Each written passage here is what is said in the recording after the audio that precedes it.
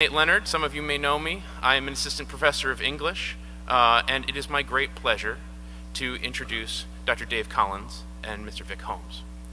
Um, their talk, Should We or Shouldn't We? Rising to Activism, uh, is largely based on Mark Phariss and Vic Holmes' struggle for marriage equality in the state of Texas. Um, a couple of things. First of all, there's going to be a book signing after this talk where Dave and Vic will be out in the lobby signing books. Please feel free to stick around, talk to them, sign, get them to sign something for you. Uh, it should be an excellent opportunity to kind of pal around that kind of stuff. Okay, um, it's really it's a really odd honor, but a great honor for me to introduce Dave Collins. I was hired to replace Dave Collins. So it's sort of a strange feeling to be up here as somebody who's in my fifth year at Westminster introducing someone who spent over 40 years here. Uh, Dave has published on a wide variety of subjects, both scholarly and creative nonfiction. In fact, a section from Accidental Activists, the book that this talk is based on, basically, sort of, um, uh, won the, let me see if I can get this right, the Mayborn Literary Nonfiction Conference First Place Prize. Um, Dave had a long and legendary career here at Westminster teaching Shakespeare, film, and creative nonfiction, and he is one of the sort of titans, from what I can tell, of the kind of history of the Westminster faculty.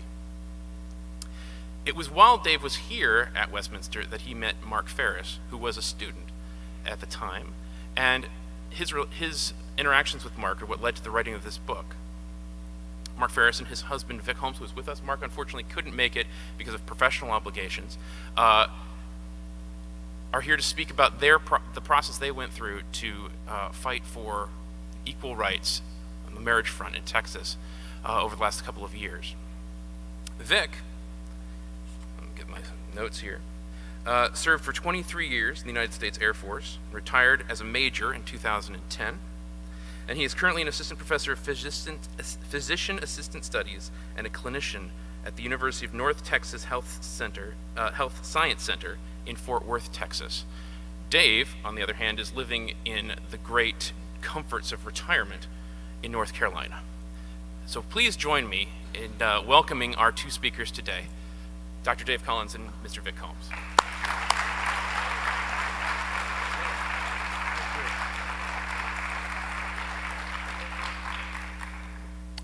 Thank you, Nate, for that uh, generous introduction. And thank all of you uh, for coming to share this uh, time with us this morning.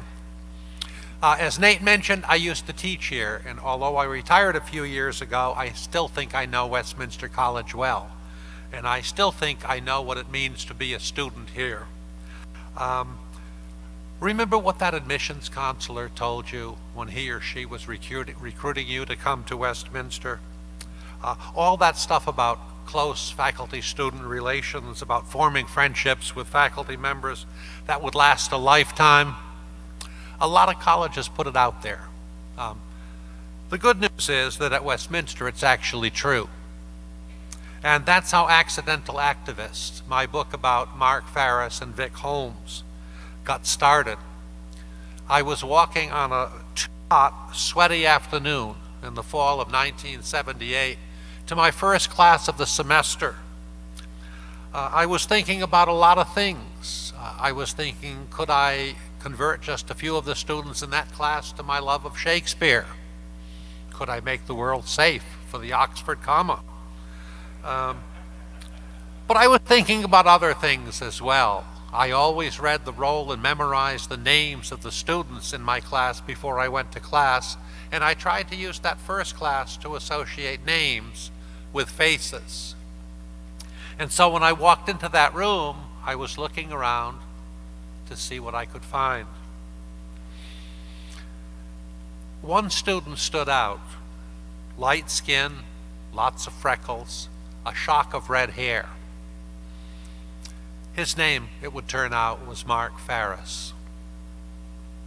Days later, unhappy with his grade on that first essay, it happens, um, Mark was in my office trying to find out what he could do to do better. I quickly discovered that Mark was that student that every professor dreams of. Serious, smart, hardworking, and yet funny. Few too many puns, but generally funny, uh, I guess. Uh, we became teacher-student friends. He forgave me that unsatisfactory grade and enrolled semester after semester in one of my classes, most semesters anyway. He wrote a senior thesis with me on Shakespeare, of course. In his four years at Westminster, I learned a lot about Mark. I learned about his love for his family, about his life in Oklahoma, about his love for the Boy Scouts, about his ambition for a life in the law. What I didn't learn between 1978 and 1982 is that Mark was gay. That he kept buried very, very deep. A wise move in Missouri in the 1970s. Probably a wise move at Westminster College in the 1970s. Looking back, I realize that if, even if Mark had confided in me, or if I had somehow discovered that he was gay, I would have had no idea of the pain that caused him in a decidedly homophobic America. That would come later. For 35 years, Mark and I uh, kept in touch. Somewhere along the line, I learned that he was gay, that he had met the love of his life, Vic Holmes, and that despite the difficulties of a long distance relationship imposed by Vic's 22 plus years in the Air Force, they were blissfully happy together. For a long time, I didn't meet Vic. Uh, that took a special force, and yes, Facebook played a part. And what does it not play a part these days? Toward the end of October in 2013, Mark announced on Facebook that he and Vic had joined with two women, Nicole Dimetman uh, and Cleopatra de Leon, and had filed suit against Texas. Mark and Vic wanted what we all want the right to marry the person we most love in all the world. Nicole and Cleo had married earlier in Massachusetts, and they wanted their marriage recognized by the state of Texas. I sent congratulations, celebrated their courage, watched and listened as they won their first legal victory in a, a federal district court in February of 2014. I grieve with them as the Fifth Circuit Court of Appeals in New Orleans delayed and delayed and delayed again in setting a date for oral arguments in their case. We all wondered if it was because Greg Abbott, the Attorney General, prosecuting that case, of course, was running for governor. Finally, in the fall of 2014, I detected a change in Mark's presence on Facebook, just that feeling you get from the kind of posts that are going up. Since the district court victory in San Antonio, Mark had posted regularly five or six posts about their travels, nature photos, pictures of their home, pictures of their place at the lake, and maybe one post about the lawsuit. But all of a sudden, as the struggle for marriage equality heated up across the nation, the tenor of Mark's presence on Facebook changed. All of a sudden, it was six or seven posts a day about the lawsuit, and maybe one about something else.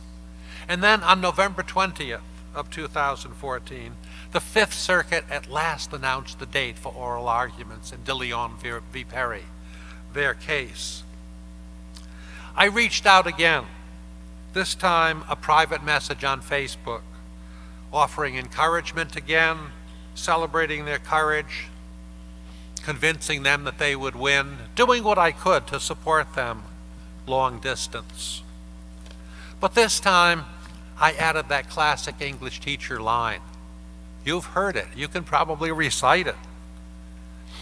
I hope you're keeping a journal, I wrote since this is going to make a great book. Minutes later, Mark replied, Are you busy? he asked. can I call? I had barely sent off my reply when the phone rang. Rang. Mark, of course. And he had only one question. Why don't you write the book? I'll tell you more in just a little while about writing that book, about some of the many elements that, uh, that eventually found their way into it. But first, I'm going to step aside while Vic tells you a little about the history of the lawsuit he and Mark, Cleo and Nicole filed to claim the rights denied them by statutory and constitutional law in Texas.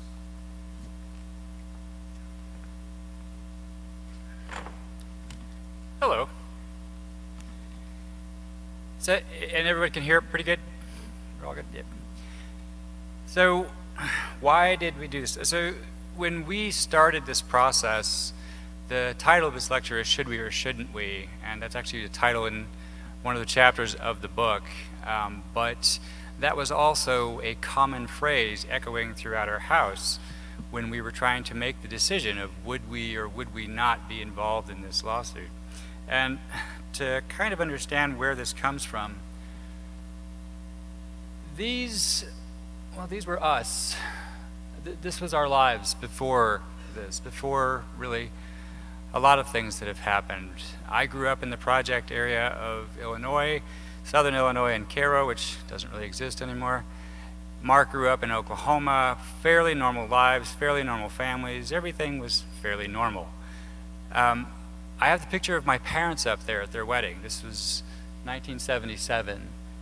Um, my parents, so when my mom and dad got married, that was certainly the happiest day of their life, but it was also one of the happiest days of mine because I finally had a father, and he was amazing.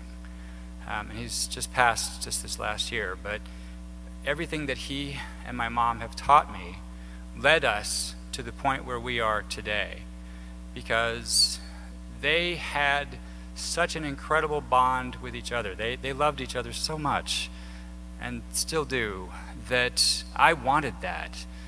And I always thought that I would have that until always stopped. And always stopped right around age 15 for me when I realized that I was gay. I was a late bloomer. So Mark was like around age six, so the comparator.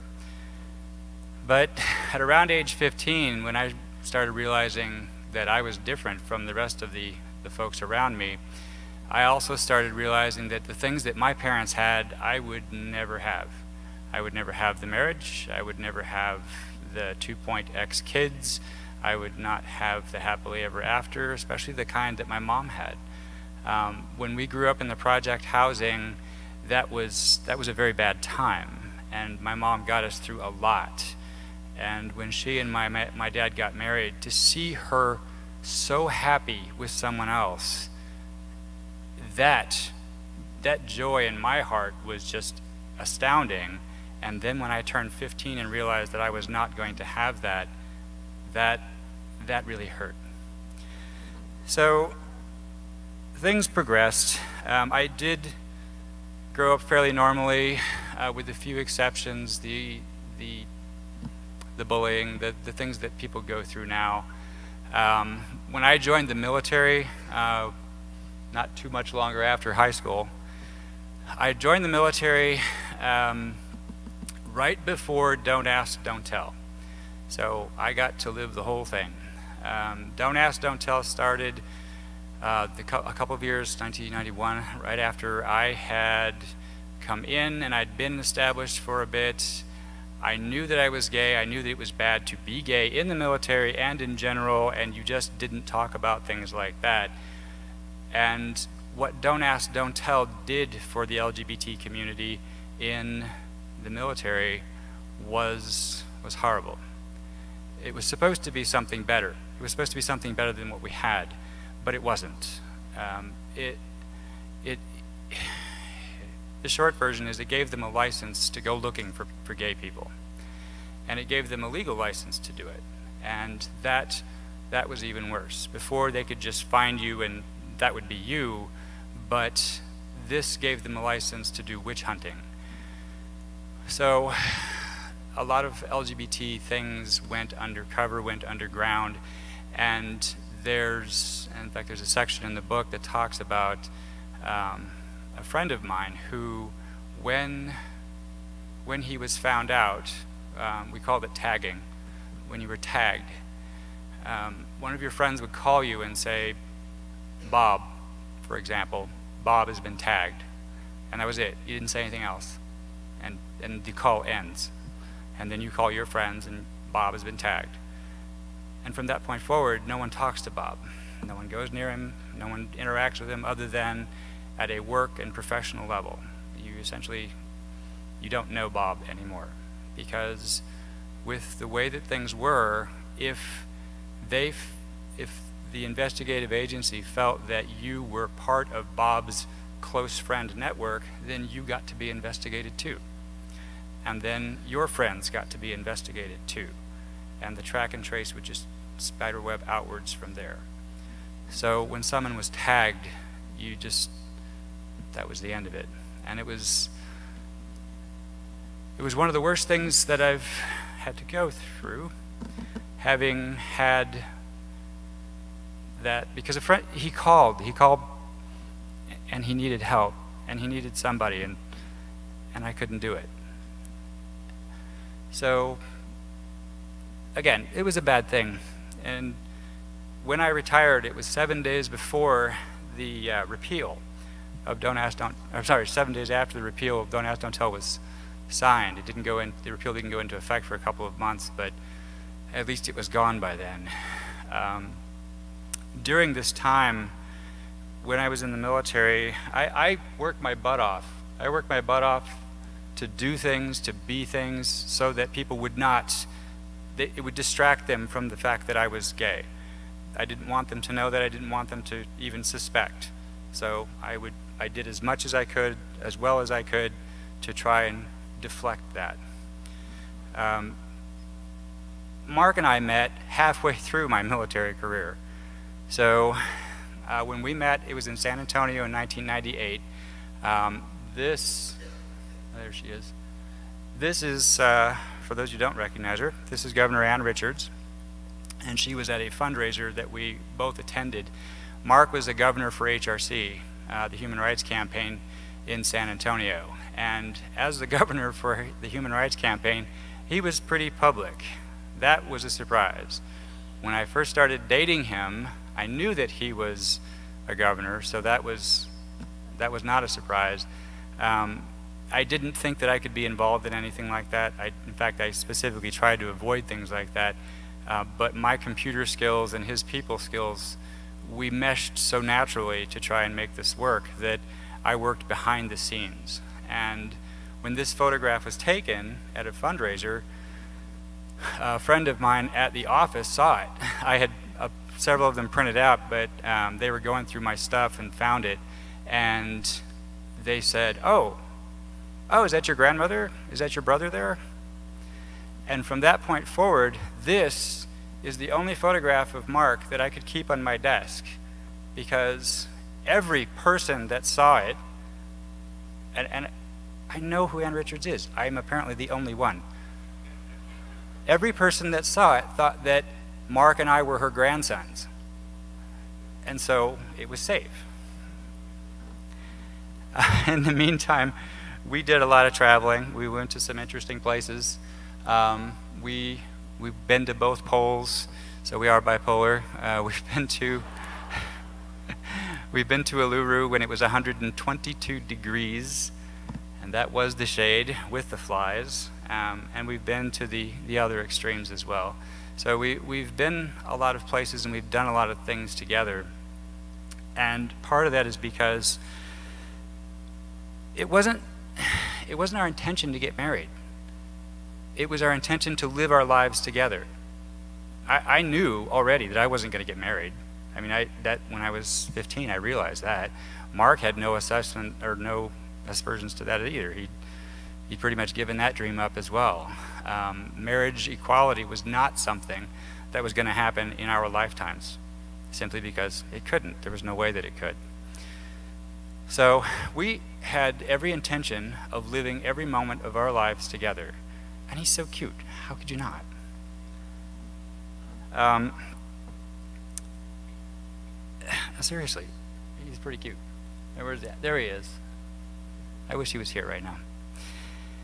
So, when DOMA was repealed, when the Windsor decision came out, and his friend Frank, and our friend really, Frank called and said, Hey, um, we're looking at this from the perspective of now that DOMA is down, we can try to repeal the state ban, at least.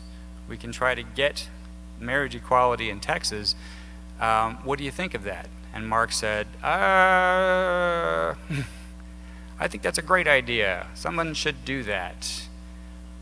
Which is interesting because someone should do that. That happens a lot in medicine. For those of you going into medicine, you'll see that uh, accident occurs. Big accident. Oh, it's horrible. Plate glass window falls on somebody inexplicably. Um, 30 people standing around with their phones. They're all taking pictures, but no one's actually calling 911. So, but that's because someone is going to do it. It's not me, but so there is someone that's going to do that. And the same thing was true here. Yes, it needs to be done. Something needs to be done about that, and somebody will do it, but yeah, not, not, not us. Um, over the succeeding times, we, we talked about it, and ultimately we decided to do it. But that decision did not come easily. It took about five months, and part of that decision was because of the uniform that I wore. When I retired from the Air Force, I promised myself and the world that I would be myself, that I was tired of hiding, that I would not be the guy in the closet, that Mark was the man that I loved, and that was perfectly okay. Not being in the military anymore, I exercised that freedom, and there were times when just the thought of that was incredibly scary. But from the perspective of this lawsuit, I told him, if you want to do this, then we'll do it. If you don't want to do this, then we won't do it. But there's no penalty either way. There's no negative consequence because wherever you're going, I'm going with you. And if you want to go this route, I will travel this road with you. If you want to go a different road, we'll get in that car and go down that road. But wherever it is, we're going to go together, and I'm not holding anything against anybody. In my mind, I did want to do this.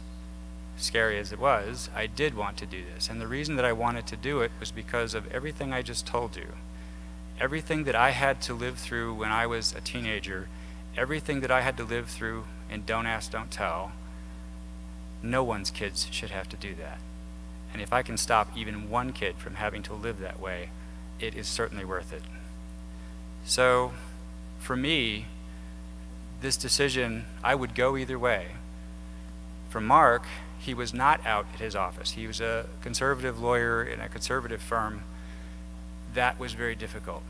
It's difficult to find jobs when no one will hire you, especially in the state of Texas, where it's still legal to fire someone because they're gay.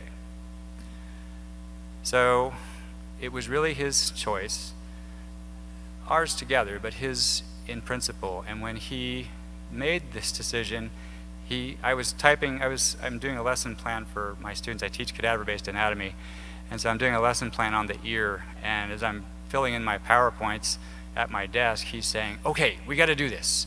We have to do this. Yes, let's do this. And then later, no, no, no, we can't do this. I can't, I, no, this, there's just no way. I can't possibly.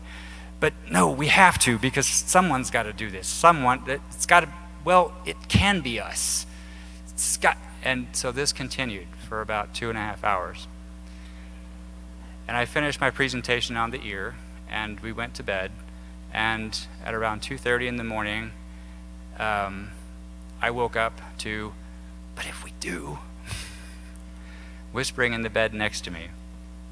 And then the next day, and the next day, and the next day. And this continued for about four or five months. It was up, it was down, it was up, it was down. And it was, honestly, it was driving him nuts. Um, I won't say it was driving me nuts because I've been there for years, but it was definitely it was wearing on him. And finally, we, we sat down and I said, look, we either do this or we don't, but whatever it is, you, you're working yourself into a state, and I'm going to have to put you on something if you don't knock it off. so we went down, we met with the lawyers. When we met with the lawyers, they actually put us more at ease because they told us, hey, don't worry about it. It's okay because all we need is your name. We're going to file the lawsuit, and if anybody calls, if there's any publicity, if there's reporters or whatever, send them to us. We take care of all of that stuff. We have this media group, we have this unit, we're good to go with that. Just direct them our way. So, on that basis, yes. Yeah, we decided, okay, we'll do this. If, if we've got that kind of backing and that kind of backup, we are good to go. And when we filed the lawsuit, within one hour of filing the lawsuit, NPR called Mark's cell phone.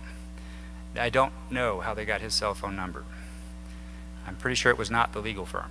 So, no, actually, I know it wasn't them, but I don't know how they got it. And he was at the office, and he didn't expect the call. He thought it was one of his other business contacts, and suddenly he was doing an interview on NPR in his office.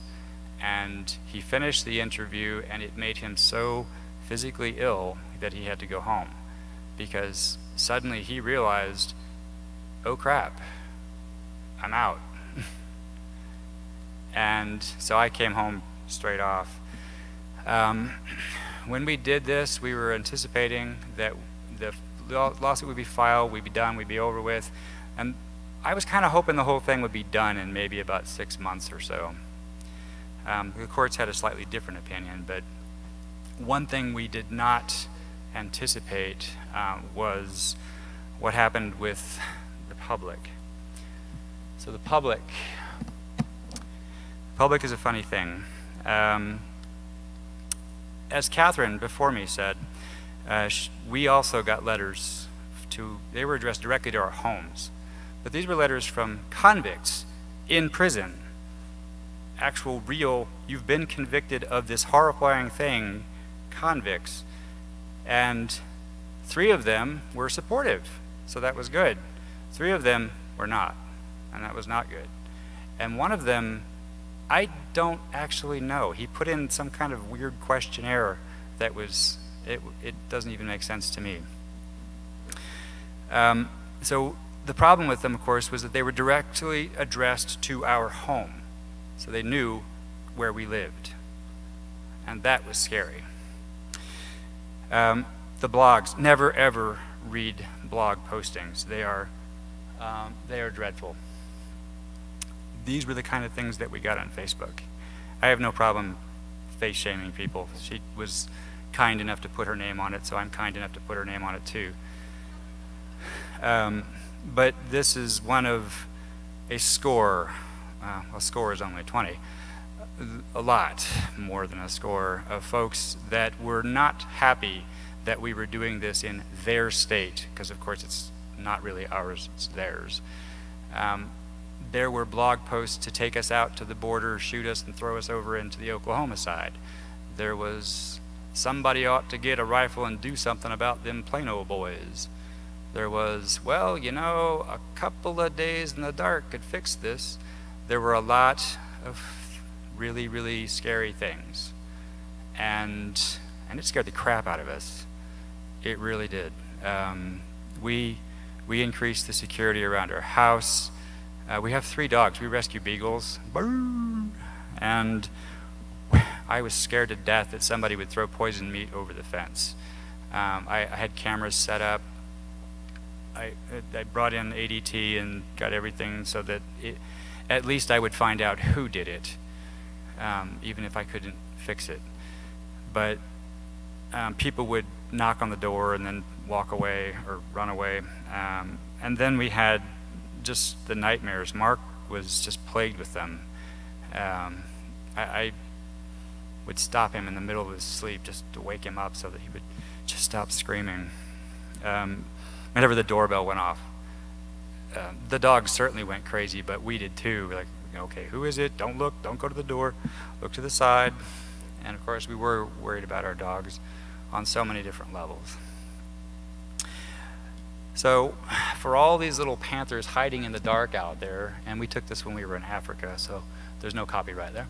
Um, for all of our little leopards in the dark, um, one thing that we did discover about the people, though, because that paints a pretty bleak picture of humanity, if that's all we have.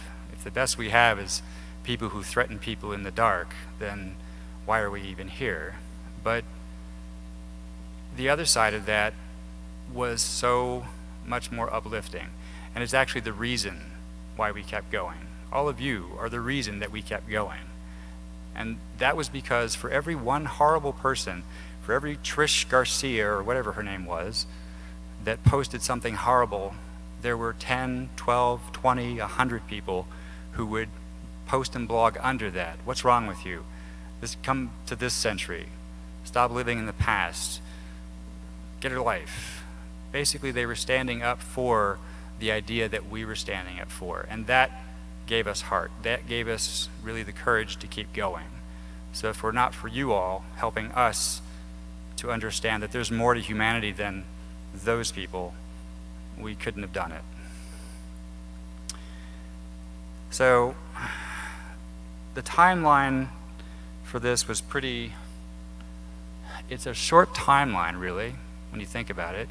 Marriage equality wasn't something that happened you know, it took certainly decades to get there. A lot of people building on everybody's shoulders, but at the end it just went and took off. And my personal opinion is the reason that it took off and took to the speed that it did was because no one was really paying attention to how much injustice was being served there until suddenly there was a focus on how many people, how many actual human people, lives, were being impacted by these decisions were being impacted by the discrimination that was being propagated. Once people understood that those were real people that were being affected, then, just like those angels in the dark that came out against Tish Garcia and her friends, those people rose up too and said, wait, this is not fair. This is not right. And that is why public opinion began to change. Not because it wasn't uh, angled towards fairness before, but because now people recognize that, wait a minute, it isn't fair and I need to say something about that. It is true that in Texas, in 2004 2005, a constitutional amendment to the Texas Constitution was passed that made it so that one man, one woman equals marriage and nothing else. And that Texas amendment or that amendment to the Constitution was passed by a majority of the voters in that session.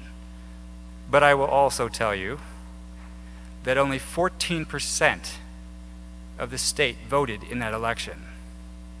So while it's true that 74% of the voters approved of that particular amendment, it was only 14% of an entire state that actually voted, so 74% of 14, which is an incredibly small number. When the rest of the numbers start rising up, that is when things begin to change. So we went through quite a bit.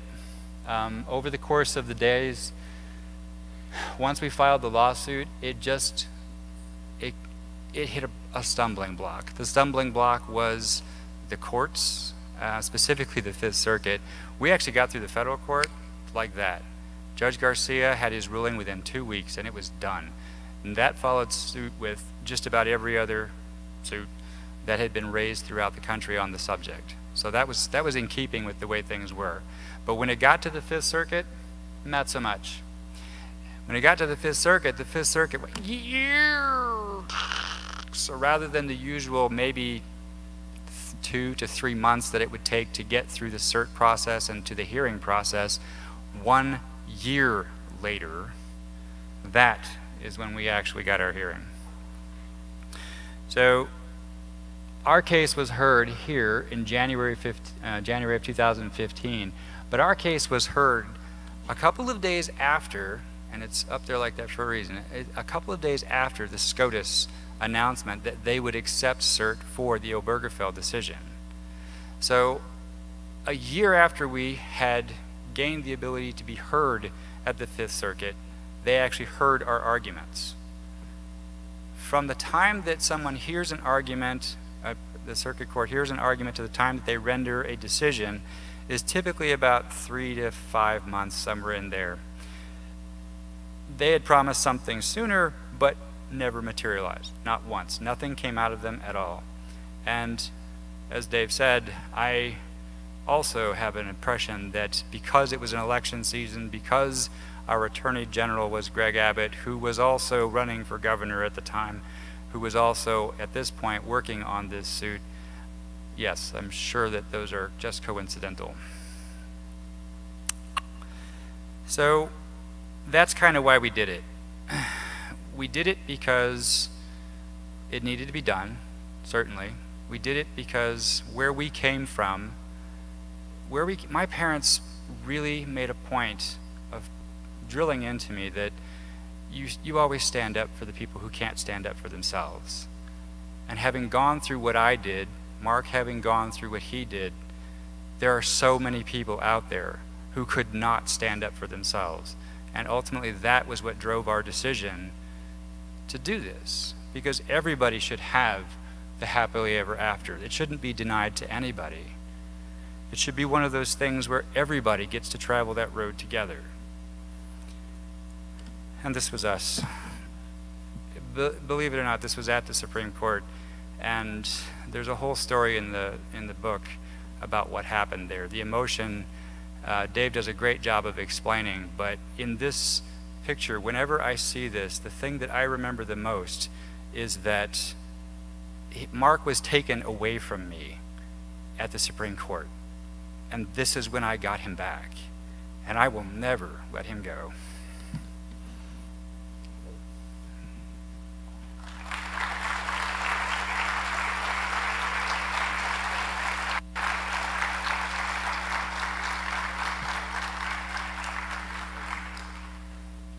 We're going to leave the exact story about how they got separated as a mystery to drive you to read the book. Let me just say it involved a right-wing Christian organization. When Mark and Vic uh, asked me to write the book, I was flattered. Um, it was a, a, vote of confidence uh, in me from a former student, and nothing is better than that. Uh, but the fact is, like most straight guys, I didn't know a whole lot about the history of LGBT rights. Some of the high points, of course. I knew the names of the major legal decisions that had led to uh, developing rights for the LGBT community, but not much more than that. I had to start working very, very quickly. And, you know, pretty soon I had as much material as I needed and way, way, way, way more.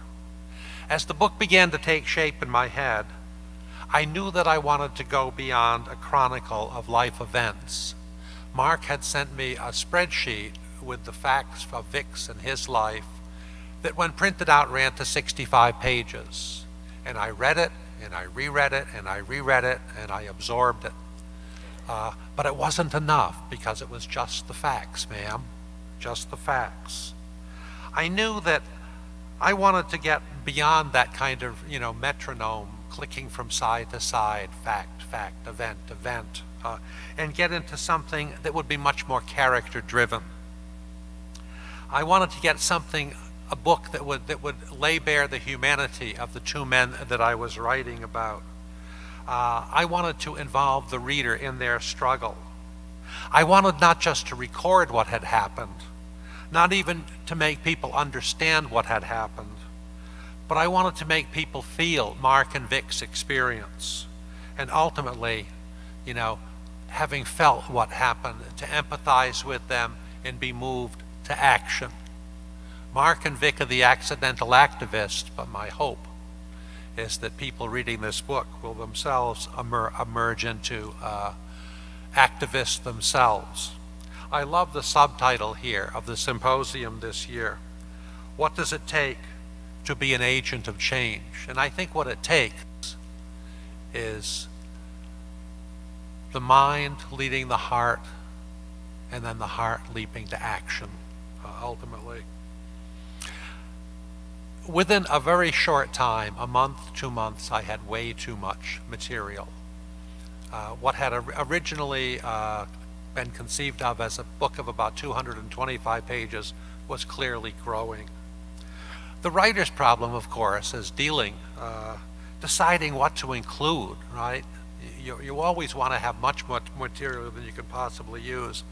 What do you use, though? What do you set aside? But I think, you know, even though we make rational decisions about that when we're writing, there's another component to writing. You know, a, a book isn't just words on a page. It's, it's a living, breathing, organic thing, ultimately. It's natural for a writer to want to shape his or her work, um, but the story is going to find its own way in, in, the, in the final uh, analysis.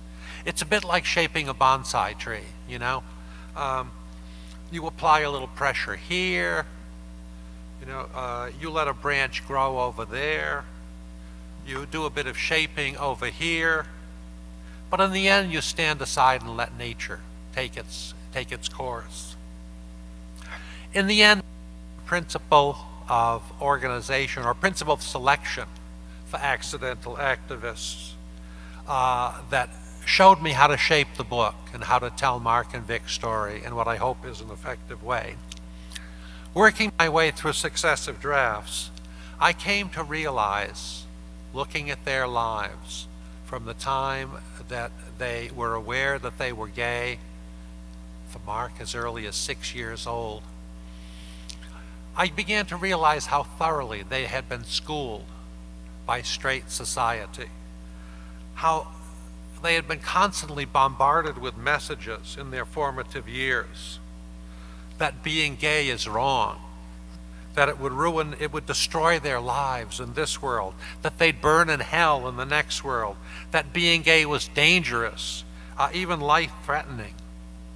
And getting to know them better and better, I came to realize that by some miracle, some combination of character and luck, they had survived the soul crushing weight of homophobia in America and even thrived. Look for moments, I told myself, in their lives when the dominant culture spoke, shouted its condemnatory message at boys growing into men, and then look for their life affirming reaction. Accidental activists would, I determined, focus on the thousand human reasons why Mark and Vic became reluctant rebels, accidental rather than intentional activists, it would tell the story of their lawsuit against Texas, but it would set the lawsuit in the context of the larger, longer struggle for gay rights that caused them and so many others so much pain over the years. It would keep them at the center of the narrative, reacting to this, affected emotionally by that, buoyed by one event, brought low by another. It would be their story, a sampling of the thousand not so natural shocks that they experienced growing up, insults and indignities that revealed a hostile landscape and taught them to scan the horizon in search of cultural signs. What would be tolerated? What would be punished? Their story, but as one early reviewer put it, the universe in a grain of sand, an incredible, detailed, humane account of one couple's activism for same sex marriage. Now, I can't tell you everything, obviously, in, in a few minutes that, that got rolled into the book.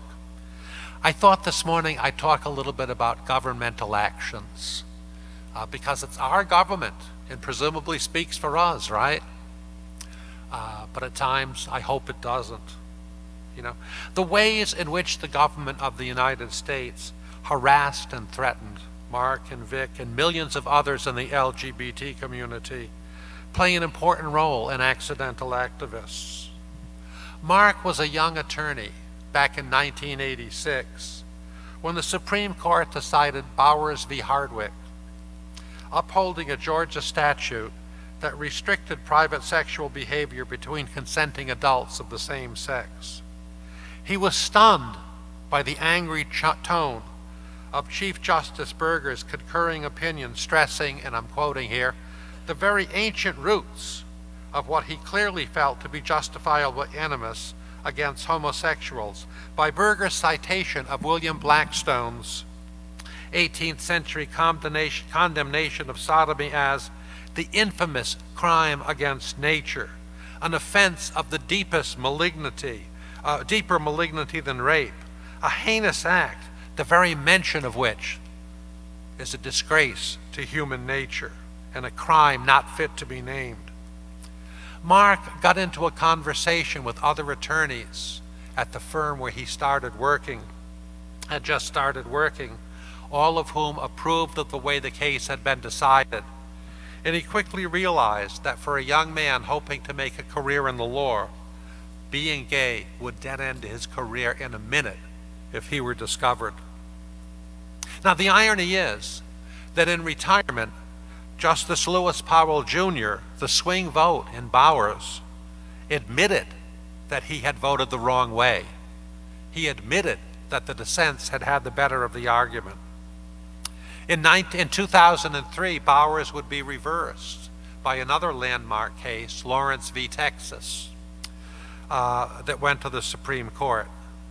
But in 1986, the message conveyed to gays and lesbians by Bowers v. Hardwick was clear and painful. We have laws against sodomy, the decision said. We may not often enforce those laws. We don't have to. The reason they remain on the books is to justify discrimination and animus. Be shamed. Be silent. Most of all, understand every day of your lives that you are a member of a despised minority. Ten years later, 1996, the, as the possibility of same sex marriage being legalized in Hawaii became to seem very real, Mark and Vic watched as conservatives rushed the so called Defense of Marriage Act through Congress with veto proof majorities in both houses. There was no way President Clinton could stop this bill. Section 2 ensured that the states would not be required to recognize same sex marriages legally contracted in other places. Section 3 defined marriage as only a legal union between one man and one woman, punishing same sex couples by denying them benefits promised in 1,049 federal statutes. The report of the House Judiciary Committee filled with ominous passages that evoked images of threats and war and destruction. It, it's like a poem that's gone bad. Made clear the extent of anti gay animus behind DOMA. In time, it too would be reversed. The result of a landmark decision by the Supreme Court in 2013 United States versus Windsor. And of course, most of you probably know that we lost Edie Windsor just last week. But in the intervening years, the message, a collective moral judgment relegating gays and lesbians to the outer darkness, was painfully clear. Don't ask, don't tell. President Bill Clinton's 1993 compromise allowing gays and lesbians to serve in the military was yet another policy that, given Vic's nearly 23 years of service in the Air Force, ensured that he and Mark would almost daily come face to face with their status as moral outsiders whose presence would be tolerated only if they remained in the shadows, um, denied who they were, surrendered themselves, and in so doing denied the human need for integrity and authenticity. Conceived as a protection for gays and lesbian, lesbians in the military, it had the opposite effect. Between 1993 and 1994, the first year that policy went into effect, discharges for conduct unbecoming, as it was known, rose 124%. They didn't go down, they went up. They peaked in 2001 when 1,073 gays and lesbians had their military careers cut short in just that one year. And the witch hunts involved in all of that sent a wave of paranoia through the LGBT community. The same sad message. Though he never took a course in existential philosophy, or at least he hasn't admitted it to me, Vic understood full well what such a culture of repression does to people held down. At some point, it didn't matter to me, Vic told me one day. If don't ask, don't tell got repealed, the policy wasn't the real problem. The real problem was that don't ask, don't tell existed in the first place because we weren't real people. If we had been real people from the start, don't ask, don't tell would never have been. Of course, as Vic explained, don't ask, don't tell uh, was repealed just as he was leaving the Air Force. Um, but still, the damage was done. He and Vic had to li- uh, he and Mark had to live with it uh, for so much of their time together.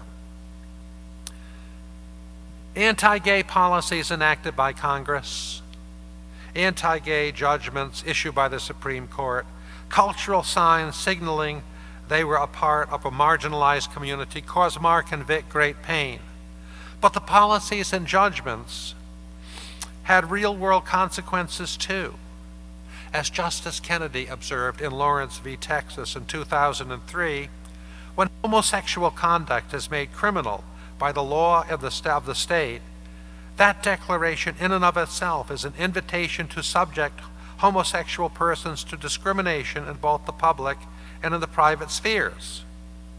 Sadly, the late Justice Antonin Scalia, whose unrelenting opposition to civil rights for gays and lesbians led to a series of splenetic dissents in every gay rights case to come before the court during his tenure, tacitly invited Americans to discriminate against the LGBT community in his 1996 dissent in Romer v. Evans at a time when he began to realize that the conservative forces were losing the fight. Justice Scalia mocked what he called the eminent reasonableness of the majority opinion that dared to include grim, disapproving hints that Coloradans have been guilty of animus towards homosexuality, as though that has been established as un American. This is a Supreme Court justice now saying that animus toward members of the LGBT community, that's an American virtue, not a problem. Comparing homosexual conduct to murder or polygamy or cruelty to animals, Justice Scalia concluded that the only sort of animus at issue in Romer stems from the moral approval of homosexual disapproval of homosexual conduct and he justified that moral condemnation with a predictable reference to centuries old criminal laws, black to Blackstone. The people of Colorado are, Justice Scalia wrote, entitled to be hostile toward homosexual conduct. I'm sure Justice Scalia never thought that people would take that entitlement to the extremes that they would take it to. But the fact is, of course, not everybody is an intellectual like Justice Scalia, and they did. Two years after the Romer decision, Mark and Vic and most Americans looked on in horror as the hostility to which Justice Scalia claimed people morally opposed to homosexuality were entitled found a brutal outlet on a road outside Laramie, Wyoming.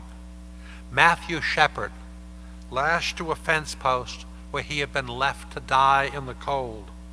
His skull broken, his clothing soaked in blood, beaten so badly with a pistol that his brainstem was no longer able to regulate his body temperature. Lurking always in the background for Mark and Vic was the very real danger approved of by Justice Scalia, of being beaten, perhaps even beaten to death for being gay. Straight culture's ultimate warning to the LGBT community to keep a low profile. In Texas, Mark could cite the cases of Paul Broussard, beaten to death by 12 thrill-seeking teenagers with fists and boots and nail-studded two-by-fours, even a knife with which he was uh, stabbed repeatedly. And Michael Beneshik, his head smashed by a blunt instrument, his throat slit. For Vic in the Air Force, the psychological terrors of being outed were compounded by the dangers of a testosterone fueled environment. He knew of the high profile cases of servicemen being killed. Allen Schindler, stomped to death by a shipmate who sang as blood gushed from his mouth. Barry Winchell, murdered in his sleep by a soldier who smashed his head with a baseball bat. You're gay, Vic imagined his antagonist asking. That's okay. I can fix that because I can beat it out of you. And if not, I'll just keep going till you're not there. On at least one occasion, it very nearly happened to him. And for years, when Mark drove home from a gay bar, he looked compulsively in the rearview mirror. Most of us are given to empathy. Most human beings can't watch cruelty to animals, cruelty to other people, without feeling some kind of empathy. How can anyone listen to stories like this about what Mark and Vic endured growing up in America and not be moved? Were there but world enough in time, I could add much, much more threats and indignities they endured as children men, some the result of intentional bullying, some simply fallout from a homophobic culture, dangers that loomed as they pursued their suit against Texas, arguments against same sex marriage so ludicrous that as they sat listening in courtroom after courtroom all the way to the Supreme Court, judges and justices had to ask again and again to the lawyers defending the states, What are you trying to say? It didn't make any sense. Aren't you moved by all of this? Some parts of Accidental Activists were hard to write because I had to learn a whole lot about the history of gay rights in America and decide which salient moments to include. Some parts were hard to write because in dealing with the legal aspects of Mark and Vic's lawsuit, I had to learn a whole new language. I taught English, not law. I had to learn a whole new way of thinking. The shelves of my study are lined now with rows and rows of books I read to make sure I was getting the story right. Stacked in one corner of my study are four huge file boxes, so heavy that I can barely lift them. News stories, expert analyses, transcripts of interviews I conducted, congressional documents, briefs, motions, court decisions at every level, emails from Mark and Vic, and their lawyers and dozens of people I interview. But honestly, in the end, that kind of hard was easy. In truth, the hardest parts of accidental activists to write, the hardest by far, were those in which, having come to identify in all that matters with Mark and Vic, having come to feel at least some part of the pain they felt, I struggled that pain on the stage in a way that would allow readers to share in it as well. It's all about empathy. Close to 25 people read Accidental Activists before it was published. Writer friends looking to help with structure, critics who vetted it for the press, hard nosed lawyers looking to make sure I had gotten the legal parts right, the director of the UNT Press, my editor there, most confess, even the, even the lawyers, that they read at times with tears in their eyes. I've heard the same thing in emails, in reviews from early readers, seen it in reviews on the internet too. There were moments, I'll confess, when I wrote with tears in my eyes. Other parts of the book are joyous, uplifting. Accidental Activist is a civil rights story story about the voyage of the hero, but most of all, it's a love story about two men, head over heels in love, who wanted nothing more than what we all want the right to marry the person they love most in all the world.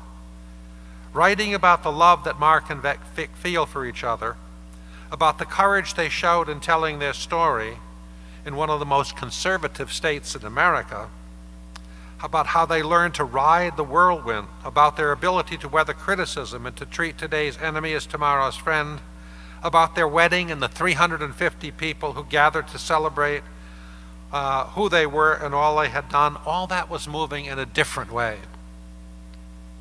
At the White House Pride celebration in June 2016, the last reception to take place at the White House, since the current administration seems to have turned against the LGBT community, President Obama paused to reflect on the past and to look to the future.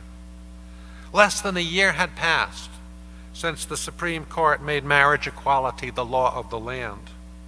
We live now, he enthused, in an America where the laws are finally catching up to the hearts of kids and what they instinctively understand. But in the midst of the celebration, the president sounded as well a note of warning. Change is possible. Progress is possible, he said. It's not inevitable, however. History doesn't just travel forward, it can go backwards if we don't work hard. Under the Trump administration, we have seen that happen.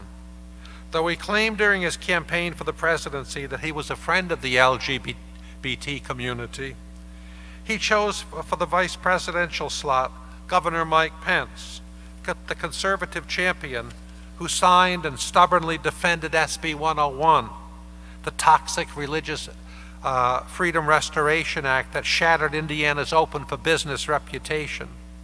Senior staff picks Steve Bannon, Steve Miller, choices for cabinet positions Ben Carson, Jeff Sessions, Betsy DeVos. His Supreme Court appointment, Justice Neil Gorsuch, have made his intentions clear. Fearful that America will sink again into the darkness, my mind goes back now to President Obama's remarks at that last White House uh, Pride reception. He reminded the audience that day of Bayard Rustin, the gay civil rights leader who organized the March on Washington, at which Martin Luther King delivered his famous I Have a Dream speech.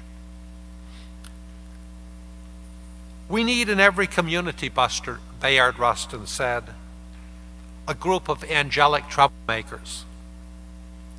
We know what's right, but the right end of knowledge lies not in just knowing what is right, but in acting on that knowledge. Unfortunately, the pleasures of the world, little things, big things, sometimes keep us from action. My fondest hope is that you'll read Accidental Activists, will feel what Mark and Vic felt, will react emotionally, and be moved to action. My hope is that you'll sign on as one, of, one more of Bayard Rustin's angelic troublemakers. Maybe become not so accidental activists. In fact, you can kind of forget the angelic part. Thank you.